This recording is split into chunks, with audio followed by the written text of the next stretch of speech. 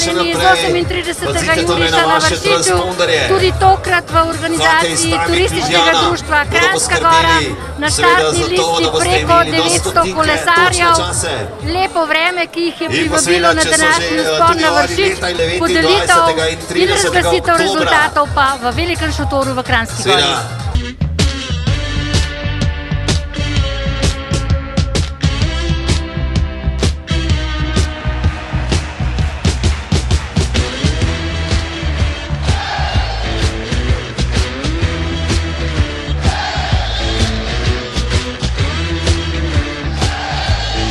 Židan, organizator oziroma vodja prireditve 38. juriša na Vršič, živijo. Dober dan. Kako ocenjujete uh, 38. juriš na Vršič? Uh, ocenjujem ga zelo, bom rekel, z odliko. Razen tega, da je prišlo nekoliko manj kolesarjev, kot smo jih pričakovali, kljub lepemu vremenu. Uh, smo zelo zadovoljni, da je vse teklo kot pač mora teči. Uh, brez uh, nesreč, vsi kolesari so zaenkrat prišli na cilj, ne še povsem vsi, no, trenutno.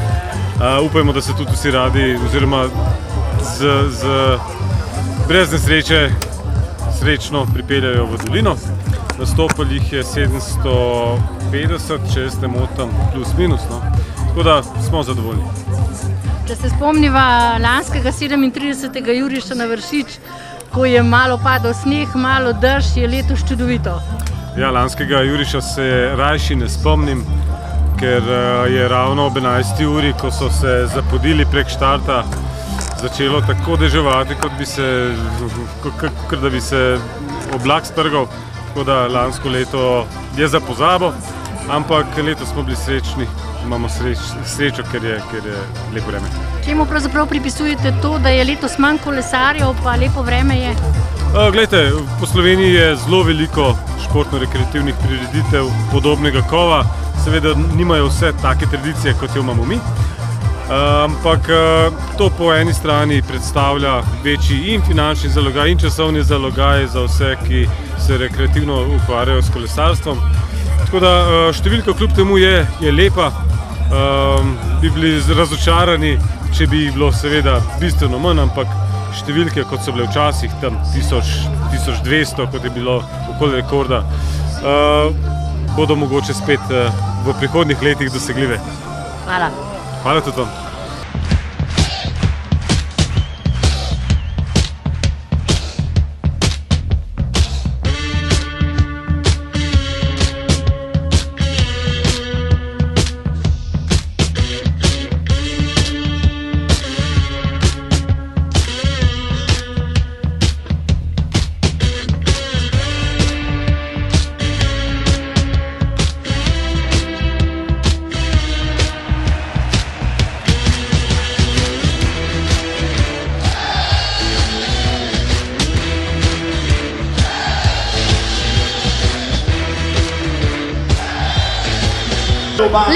Klaudija Gomboc, predsednica turističnega društva ob koncu 38. juriša na Vršič.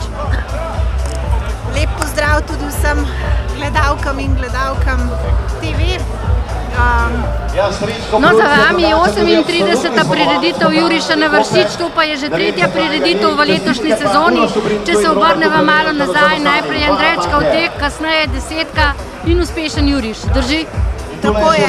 V letošnji sezoni nam je bilo vreme naklonjeno za Andrejčkov tek 25. junija. Desetka je poškropilo, bila deževna. Danes pa smo izredno veseli, da imamo za sabo 38. juriš na Vršič. Izredno zahtevna organizacija. Predvsem se zahvaljujem mojim prostovoljcem, članom turističnega društva Kranjska Gora, seveda tudi vsem sponzorjem, ki nas podpirajo. In veseli smo po končani prireditvi, da so se vsi kolesari vrnili zdravi in pa brez poškodb v dolino, to je najpomembnejši podatek. Nekaj pod 800 udeležencev, kar je lepa številka in dobra popotnica za organizacijo naslednjega Juriša na Vršič, ki bo 2. septembra leta 2017. Tako da že sedaj vabim vse tekmovalce, da pridno trenirajo, kajti za našo prireditev je izredno pomembno, da so kolesari dobro kondicijsko pripravljeni. Koliko rekreativcev se je letos podalo na vrh Vršiča? Številka je nekaj pod 800, tako da smo tega rezultata veseli. Vsako leto se težje odločajo za izbor na Vršič, predvsem zaradi tega, kot sem že povedala, niso kondicijsko dobro pripravljeni. Zato je izredno pomembno, da se na sam izbor na Vršič kolesari pripravljajo čez poletno sezono in potem brez težav tudi osvojijo sam Vršič.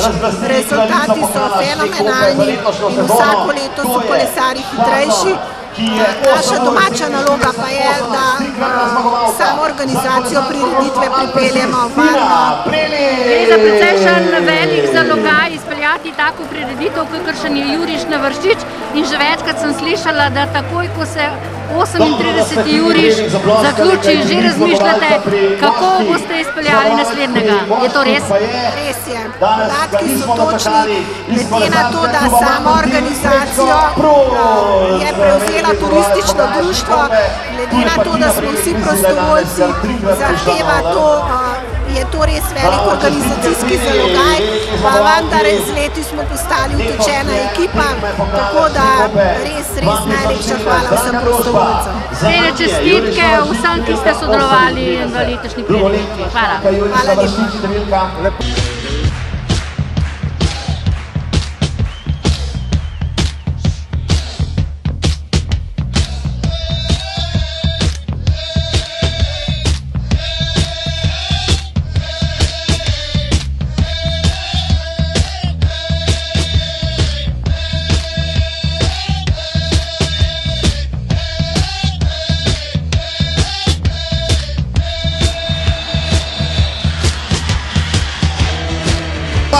Zmagovalec letošnjega vršiča s fantastičnim časom pod 34 minutami. In mislim, da je to tretji zapovrstjo, bom vprašal gospod Matej Kimove. Matej Kimovec, kralj Vršiča, letos že tretji, iskrene čestitke. Vršiča pa je Laura Šime. Kakšen je bil spon, zelo dober čas. Laura Šime, celava kraljica Vršiča s fantastičnim časom. Dost bolj škaladna, smo imeli še od začetka do konca. Za Lauro Šime, Noge niso bile ta prave. Letos je šlo pa boljše, no. Sicer pred vrhu je bilo čez dalje težje, tako kot vsako leto. Ampak mi je rado zdržati do cilja. Si je drselo, ni tako kot lansko leto zemljo v sti. Ne, danes nam je bilo oziroma ne vroče, ampak res na pravi vreme. Koliko je bilo potrebno trenirati za tak rezultat? Uh, je v bistvu celo leto pomalo. No. Po zim malo hoje, kakšni pohodi v hribe, pač se vreme naredi zunaj pa na kolo. In pač skoraj vsak dan, ne, štirikrat do petkrat na teden. Hvala. Enako, hvala vam.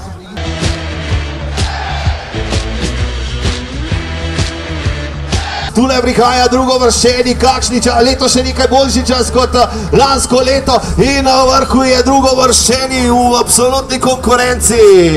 Drugo vrščeni v absolutni konkurenci padlo Serpentinovi vršiča, pa tule absolutno tretje vrščeni tekmovalec.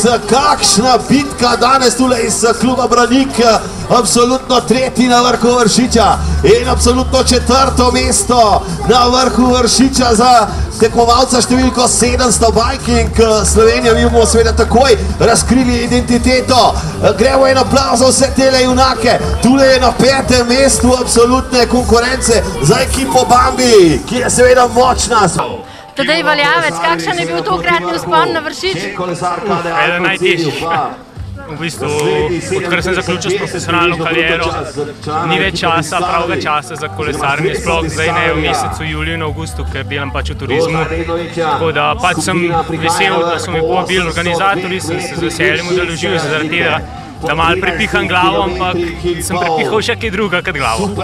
Je to prv tak, prva taka tekma, kakor v letošnjem letu? Ja, se drugače ne udeležujem več tekem, ampak ja, rekreativno prva taka samo da zanimiva izkušnja in v bistvu pohvala vsem rekreativnim kolesarjem, ki so res vrhunsko pripravljeni in v bistvu v takem ritmu zmorejo pri kolesarju. Lahko rečem, da iz vlastnih izkušenj, da verjetno velika večina profesionalcev bi imela težave v bistvu držati njihov ritem. Je pa sigurno razlika, tukaj gre samo za uspon, medtem ko na, na navadnih dirkah je treba že prej večkrat premagati, ampak vsekakor, v bistvu glede na to, da upravljajo delo, da so redno zaposleni, da imajo še toliko časa, da lahko toliko trenirajo in držijo tako formo, kapa dol. Jaz tega ne zmorem več. Letos zelo dobro mesto in iskrene čestitke tedaj. Hvala. To je na šestem mestu, super, zadovoljen iz ekipe Bike Republic, zdaj pri kolesarju na vrh šesto vršenje v svoji kategoriji. Bo seveda više povedali smo pet kategorij, imamo pri fantih pet kategorij. Imamo pri dekletih, tretji za vrstjo pa kralj vršiča Matej Kivovec, tule zdaj na vrhu. Še eden, Ganeša tim, istok Dokša je tole, številko 725. Seveda njegova partnerka Špela Škrajner, tudi večkratna že zmovalka vršiča. Tule zdaj na vrhu že prva deseterica, lahko rečemo od 769 junakov vršiča. Allora i primi dieci sono già in arrivo, top 10 competitors already in the finish line. Laura Šimenc, tudi ni ženska med kralj vršiča. Neverjetno, lansko leto je bilo sedem vreme. Ja. Letos sem se odločila priti, ker sem bila cel poletje polna, pa da preizkusim malo svojo formo. Ker sem jih malo nazaj prišla, pa sem rekla, da pridem probat. Sem hotela iti pač 40, ampak še majčkan mi manjka. Ampak v redu je bilo, sem kar zadovoljna. Kakšen je bil današnji vzpon? Tam na srednju je bilo kar težko, pol zdaj kle proti koncu sem pa kar dobila novo energijo, pa je šlo. Je, ste vel, pravite, da ste bila bolna, kaj pa sicer? Um, sicer pa letos sem ene par usponov že zmagala v Sloveniji, pa sem podala rekorde, drugač pa um, sem dirkala tudi malo um, v tej ekipi BTC City Ljubljana v prvem delu sezone. Skrijem čestitke. Najlepša hvala. Andrej Jezeršek, vsako leto pridete na vršač? Je, res zdaj sem že tretje leto zapored, ker sem šele pred tremi leti začel cesto kolesar. Ja, se vračam vsako leto nazaj. Koliko ste prej prekolesarili pred Jurišem? Letos mislite? Uh, letos mislim, da tam okrog 4000-5000 km. Ste zadovoljni s časom letos? Zelo. Uh, sem kar dober, izboljšal lansko letni čas, pa najbolj sem vesel, da me pride moja hčerka pa žena pogleda, pa da navijajo za nas, pa letos je lepše vreme kot lansko leto, tako da je super. To že kakšno priznanje za vami letos? To je že, ja, bo kakšna medalja, pokal, je bilo, ja. Čestitke za uspon. Hvala lepa. Maja, pa žena tudi. Aš kaj povedala? Aš povedala kaj, ne? Oziroma na navijaču Laura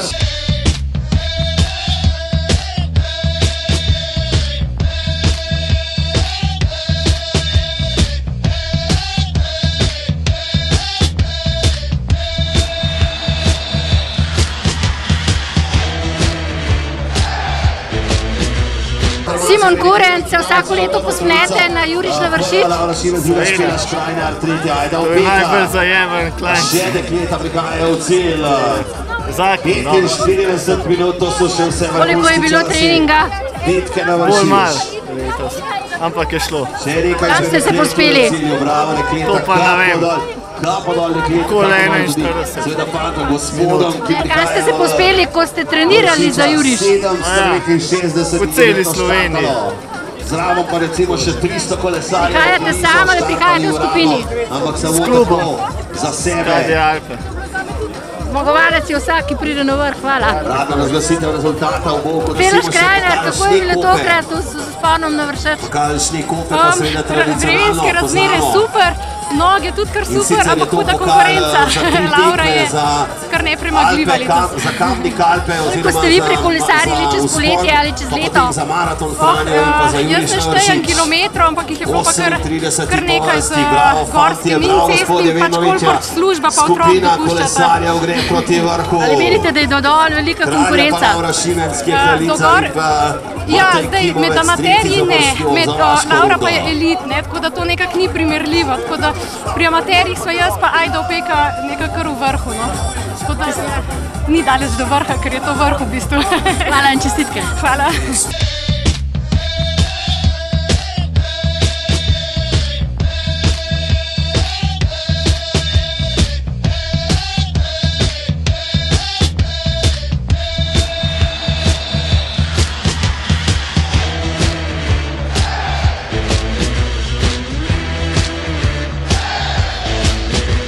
Jere, Sebastian, odkje prihajate? Prihajam iz Vodic na Ljubljano. Na desno je Se vsako leto udeležite Juriša Ledežu? Vsako leto ravno ne, ampak na dve leti približno. Lansko leto je bilo slabo vreme, pa sem, nisem tekmoval, ker eh, pač je bilo prehladno, daš spust dol, treba se pelati, tako da Kakšen je bil tokratni vzpon? Dost v redu, je pričakovano na mojo formo. No. Tako da 43 minut. Tako da nekaj srednjega, nekaj srednjega, no tako. Ni najboljš, naj najslabš. Tudi boljši je že bilo, ne? Odličen čas, hvala. Hvala. Ti na Brelih, Brelih vsako leto pridete na vršič? A, ne, to je za letos prvič. Tako da sigurno ne pa Zadovoljen zadnjič. s časom. Bomo še prišli. Kakšen je bil vzpon današnji? A, Naporen. Se vidimo v dolini, še enkrat, če greste v dolino, lepo prosimo. Kje se vam je zdelo najbolj naporno? V teh desni ovinkih? Mislim, da kar cela pot je bila taka naporna, ker če je tekma, jo vzameš od začetka do konca. Ste, ste sicer rekreativka? Ja, rekreativka z licenco, kot letos prvič. res Bolj resno za hladno, štartom. pravo, pravo. Kako ste prišli? Kolesarsko. A, skupaj s klubom smo se pripeljali s kombijem, tako da nas je kar nekaj danes Vseeno skupaj, ne no, vodi tako dolino. Čestitke za prvič. Ja, hvala vam. Sot. Jere, Sebastian, odkje prihajate? Prihajam iz Vodic na Ljubljano. Na desno je Se vsako leto udeležite Juriša Ledežu? Vsako leto ravno ne, ampak na dve leti približno. Lansko leto je bilo slabo vreme, pa sem, nisem tekmoval, ker eh, pač je bilo prehladno, daš spust dol, treba se pelati, tako da Kakšen je bil tokratni vzpon? dost v redu, je pričakovano na mojo formo. No. Tako da 43 minut. Tako da nekaj srednjega, nekaj srednjega, no tako. Ni najboljš, naj najslabš. Tudi boljši je že bilo, ne? Odličen čas, hvala. V hvala. Ti na Brelih vsako leto pridete na vršič? A, ne, to je za letos prvič. Tako da sigurno ne pa zadnjič. Zadovoljen časom. Bomo še prišli. Kakšen je bil vzpon današnji? A, Naporen. Se vidimo v dolini, še enkrat, če greste v dolino, lepo prosimo. Kje se vam je zdelo najbolj naporno v po teh desni ovinkih? Strani. Mislim, da kar cela pot je bila taka naporna, ker če je tekma, jo vzameš od začetka do konca. Da ne boste seveda počakali. ste sicer rekreativka? Počakajte še Ja, malo tudi na vrhu, malo se okrepčajte. letos Vreme no, danes res ni normalno. Bolj resno za hladno, pravo, Kako ste pravo. prišli? Kolesarsko. A, skupaj s klubom smo se pripeljali hladno, ni s preveč toplo, zato tako da nas je kar nekaj danes Vseeno ne vodi tako dolino. Čestitke za prvič. Ja, hvala vam. Jure, ste vi letos prvič, a pridete vsako leto? Neizmerno hodimo bodaj Nisem prvič. Zdaj sem že nekaj let zapored in zmeraj je znova prepričan. Se vidimo tudi drugo leto. Kakšen je bil letošnji vzpon? Uh, Predvsej boljši kot lansko leto, ker je Pa bil še lansko leto vreme katastrofa. Cesta je v glavnem Letos je pa zaprta. idealno. Kako ste prišli v skupini? Tako da tudi če greste v dolino, ona malo, malo bolj Na začetku nas je pa res se presenetil en velik avtobus, ki ga ni noben pričakoval. Drugač pa mislim, da v drugi, tretji skupini. Zelo sem zadovoljen. Vidimo malo prihodnje drugače leto. Če pa greste pa skrajno previdno. Ma ni problema to. Tu za nič meni kar narobe. Pa čas pa zrajtrga. Kdo ste vi? Andrej, Ste pa, Kranja. kako? Iz Kranja. Andrej iz Kranja, ste vsako leto pospnete na Juriš na vršič? Ja, zdaj že kar nekaj let. Še 11 let v cilju za izvirni power. Kakšen je bil današnji vzpon? Konca. Boljši kot pa lansko 50 leto, če to ne drugega, že zaradi vremena. Pa tudi čas je bil malo boljši. tako da- Drselo ni, Kako? Ne, drselo. drselo ni. Kateri del eh, vršiča vam je najtežji? Ja, kar cel je težek, drugač pa proti koncu, bolj proti koncu greš težje. Koliko ste prekolesarili, predno ste se podali na vršič? Letos je njih 8000 km. Veliko, čestitke. Hvala.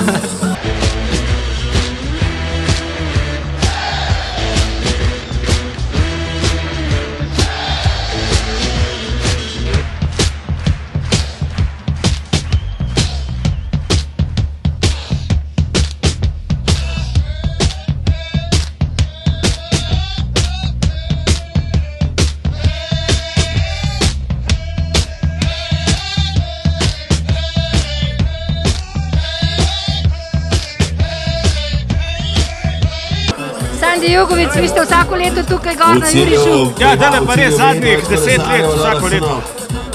Tako da je kar taka ta prava dirka tole za en tak test. ne. Tebe je dobro, kakšen je bil vaš uspon? Spon je bil v redu, glede na to, da si šel malo po 40, sem zadovoljen, super. Tako da do rekorda malo zmanjkalo, ampak je v redu, je v redu. Koliko kilometrov ste prej prevozili, predno ste se podali na vrh vršiča? Na letos jih je 6 pa 800. O, lani jih je bilo nekje 9 pa pol, letos je pa 6 800, ampak je v redu.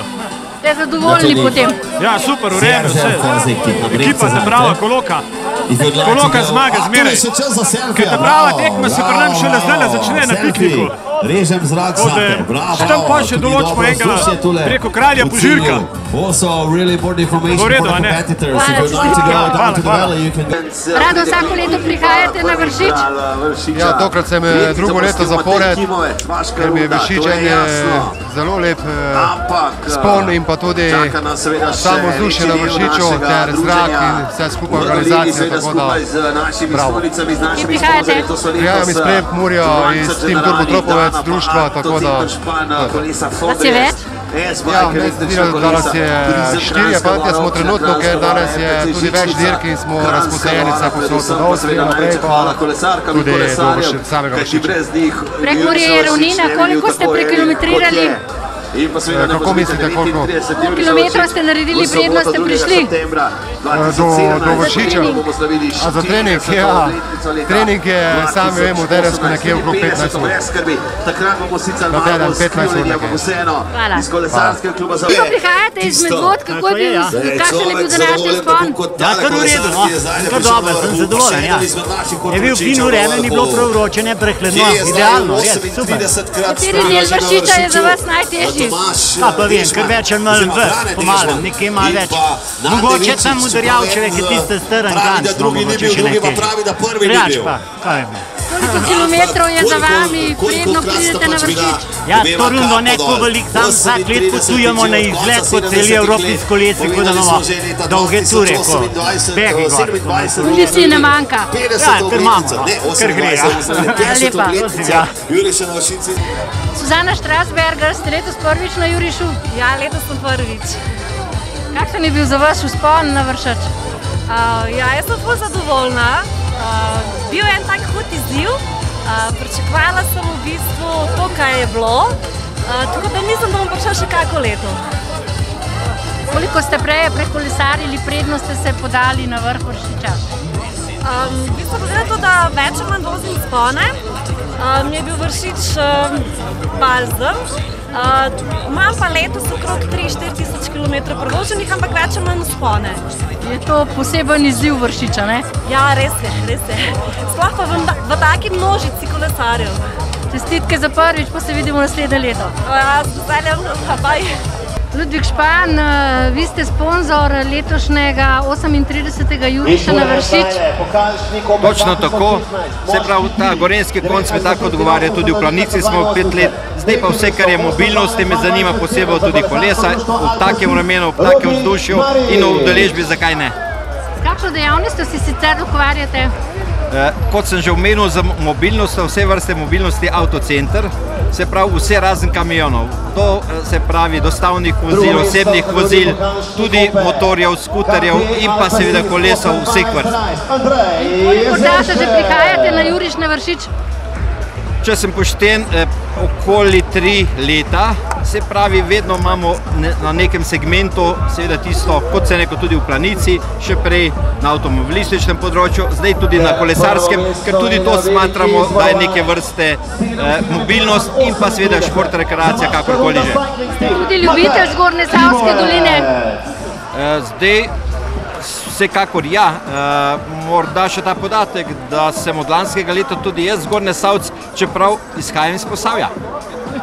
Se dobro počutite med Zgornje Savci? izredno dobro ob vodi, v pišnici, tako da za stara leta, kolikor, že, kolikor jih še manjka, z veseljem bom tu. Ja.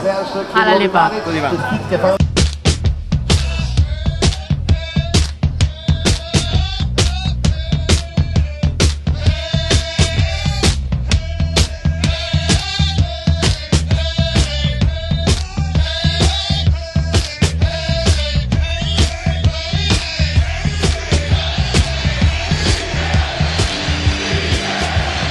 Rokrce, letos ste se udeležili 38. Juriša na Vršič. Vi ste generalni zastopnik prav za to branžo, kakršna je bila danes tukaj.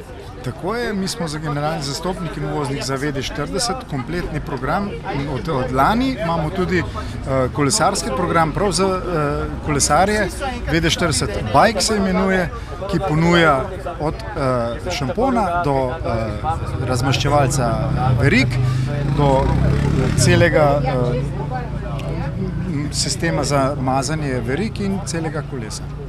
Časa je to že na tržišču?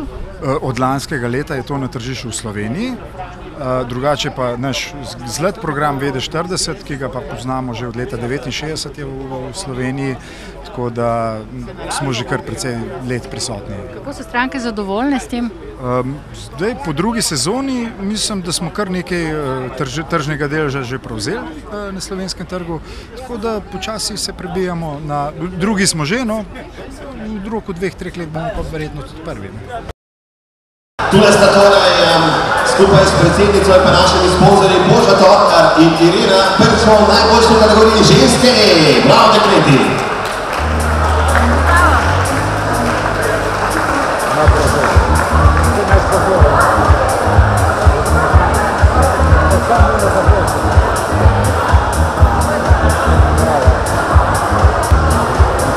Prvo mesto v kategoriji ženske Nera Mažatel, druga Nada Vrtovni Kozek in tretja Zuzana Marfolja.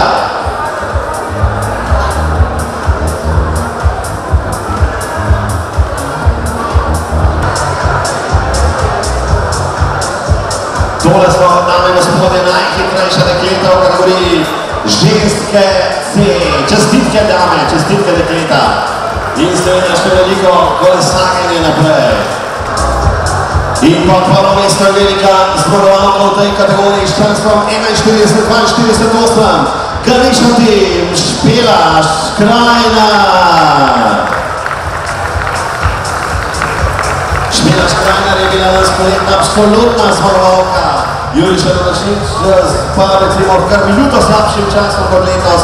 No, seveda lansko leto je bilo vreme res morbidno, da ne rečem brutalno. Tule so naše tri dame zborovalke v kategoriji B, Špila Škrajnar, Ajda Opeka in Tina Preliš. Kape dol, vam pa hvala lepa za aplav številka štiri, prosim.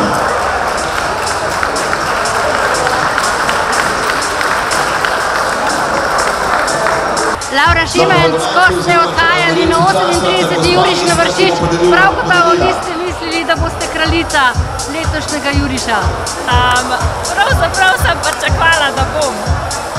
Uh, že predno sem prišla, tako da, ampak se je vse dobro išlo, tako da se je to uresničilo. Koliko krat ste že bila na jurišu? Um, letos sem tretjič na jurišu, sam nikoli še nisem zmagala. Kakšen je bil današnji vzpon za vas? Je bil naporen? Ja, tako, um, v sredini vzpona nisem točen, točno vedela, kako se počutim, ampak potem proti koncu mi šlo pa že zelo dobro, tako da sem pa kar Za tak rezultat in za kraljico Vršiča, koliko je potrebno rekreirati vsak dan kilometrov? Ja, um, treba je predvsem po pameti trenirati tako, da jameš pravo razmerje, da ni preveč in premalo. Drugače jaz pa treniram tam od 10 do največ 13 ur na teden. Iskrene čestitke. Najlepša hvala. Naš čaka še zadnja kategorija pri dekletih, to je ženske A. To smo rojene leta 1987 in kasneje. Tole so najhitrejša tri dekleta. Vas čaka plav številka 5. Hvala lepa. Še kategorija 60 let. Sport Poduszko, Pomaga Kulcz, BTS Company, N4326, Iwan Popowicz. No a to na pewno aplauz. Iwan Popowicz, Miłogosz Kielcy, Miłogosz Papicz.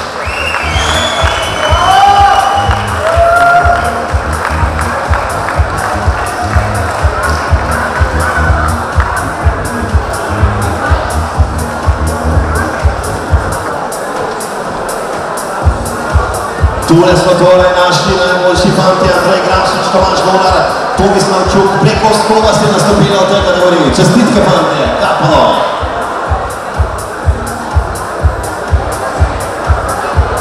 In pa seveda še ena skupinska fotografija. Andrej Grašič, Tomaš Dolar, Tomislav Čuk. Tretji zmagovalec kategorije moški C, Grega Filipič.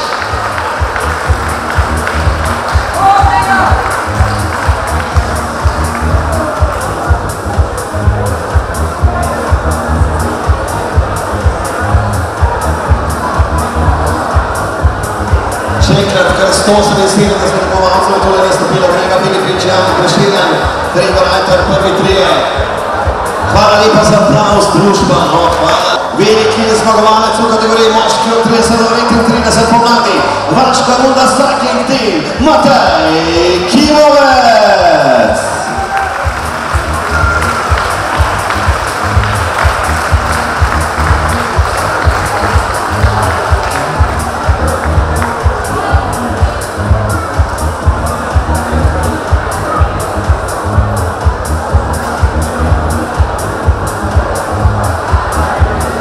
Torej naši najboljši fantje v kategoriji moški B.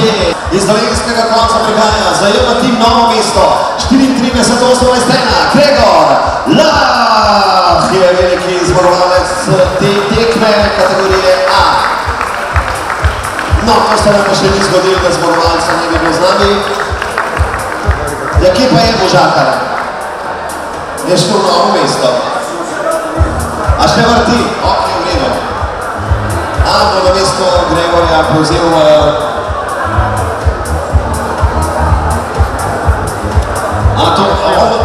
na mesto Gregorja.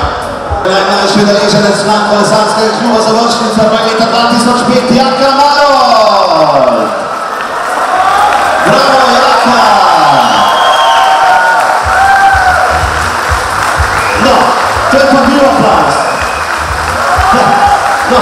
Je bil pa več aplauz, kot za velikega zmagovalca.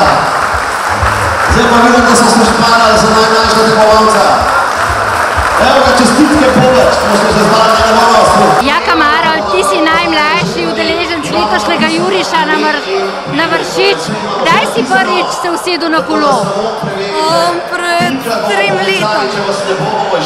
Um, pa pa zdaj, ko um, treniram gorsko kolesarjenje. In pa um, sem pa prišel še sem pogledat, kako je to. Um, to zdaj me, pa veseli kolo. Kdaj si pa pristopil v kolesarski klub Završnica? Pred dvem letem. Koliko vas pa je? Enajst. In koliko prekolesariš takole letno ali pa med počitnicami? Davžen 500 km.